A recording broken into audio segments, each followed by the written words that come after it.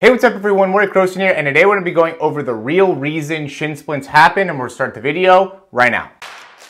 This is the newest edition of the Performance Lab. Reach your individual goals. We don't want to just talk about straight line speed. We also want to talk about your ability to be quick. We break down your video. Let's make you into the quarterback I know you can become. All right, so I'm making this video just because I have been seeing a lot of people with this issue lately, and it seems like something that's happening a lot within uh, soccer players and track and field. I know there is a lot of people right now that are getting into really the meat of their track and field season, uh, and and with soccer, I know there's a lot of stuff going on as well. I mean, soccer players always doing a lot of running and, and having to uh, cut, decelerate, and things like that. And I've seen online a lot of people talk about the reason that shin splints happen is because of overuse and lack of certain strength. I'm not saying that that is necessarily wrong. There could definitely be overuse and there could definitely be the need for the body to adapt to higher level of loads. But there is also a technique that goes into running that ends up being really important. And if an athlete is not running correctly, then they're putting themselves at a lot more risk for injury. And especially if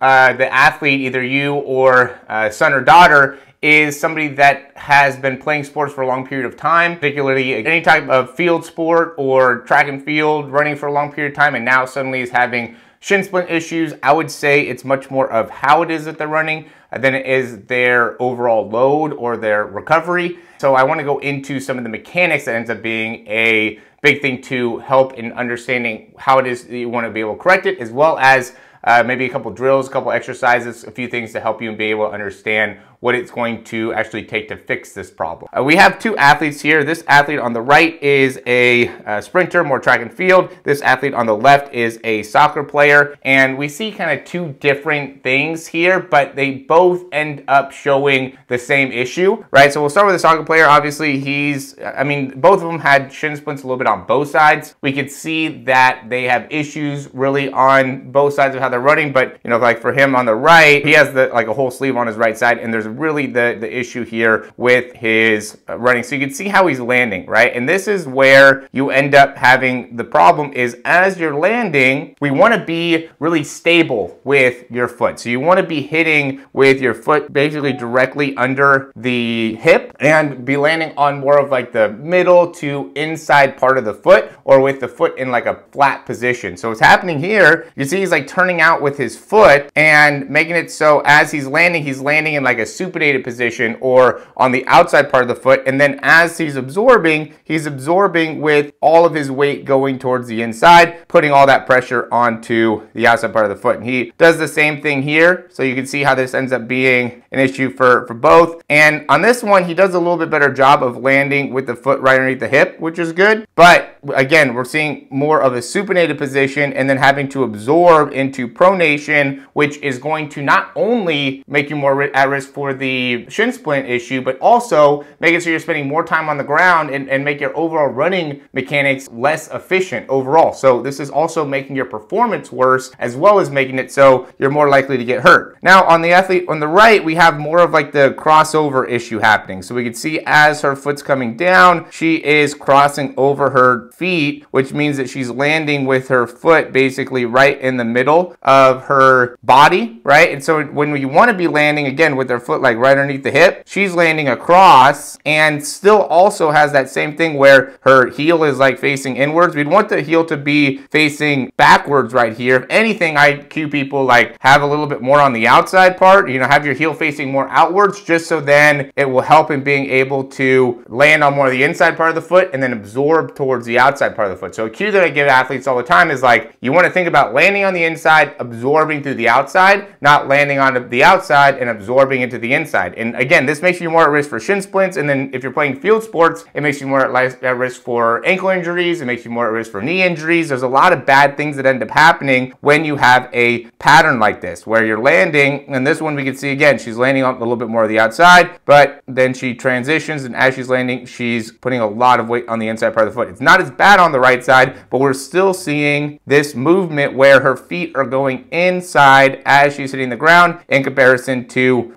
you know, we see a lot of the top sprinters, and I've talked about this before, where they're almost pulling their foot out to the side as they're striking the ground. And when your foot's going this way and you keep your foot pronated, right, and it's not like you want to be landing way outside with your foot, but we, again, we want to, it's natural for your knee to come straight through, right? So we get into this position where your knee is like right in line with the pelvis. And then from this position, what we should be seeing is pulling back right? And so as you're pulling back, when your knee's here and we're pulling back as much as it might feel or might seem like it, it's a straight back action, it is slightly to the outside. And again, I like to cue going towards the outside because I think that really makes a big difference in people understanding how to be able to land on the inside part of the foot. And then from there, transitioning and, and controlling through the outside part of the foot and then coming right back off. And the big thing to help strengthen this and, and help improve this is going to be how it is that we're striking the ground, right? So really being able to spend some time and understand how to be able to properly strike the ground and also just strengthening the arch and getting a little bit more uh, balance and control and an understanding of how to utilize the feet in order to really maximize your performance ends up being the main thing in being able to help you out with the strengthening of the lower half. Now, I do think at the end of the day, you have to be able to improve your mechanics in order to fully address this issue. And I think most people that have this issue are doing one of these two things, either crossing over or landing a little bit too much on the outside part of the foot or a combination of both. And that's what ends up causing the shin splints. But there could be some overuse. There could be some things that you could do from a training perspective and from a, again, strength building perspective. And we'll go over a couple of those as well. First, it's going to just be called wall dorsiflexion. I'm trying to get my feet and as I progress as far away from me as I can, I'm just going to lift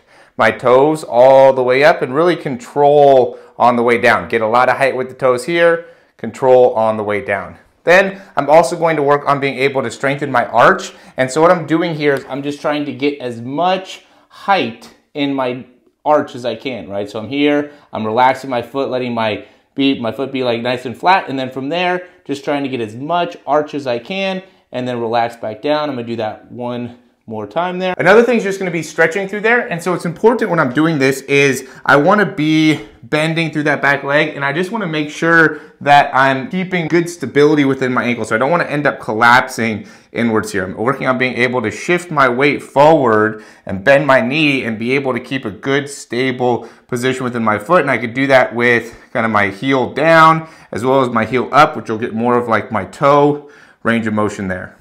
Another thing here is just going to be working on being able to get all the way up onto my toe. And then for here, I'm working on being able to get a little bit more to the outside part of my foot. And then I'm also going to do getting towards the inside part of my foot. And as I'm doing this, I want to be able to control myself on the way down. I could also do that with one foot down, right? And this is really good to help you in being able to understand how to stabilize as we are running. Okay, and then the last thing we're gonna do is just gonna be jumping onto this foot and being able to absorb through the outside part of the foot. So I want to be landing on the inside part of the foot and absorb my weight to the outside. And that's what I want to be doing when I'm running. I want to be running and landing here with my foot and then transitioning my weight to the outside part instead of landing here and coming in or crossing over with my feet, which is the common thing that I see when people end up having shin splints. I could do this both without having my hand on the wall, right? And keeping all of my, keeping my heel up, keeping my weight coming on the front part of my foot and just trying to eliminate too much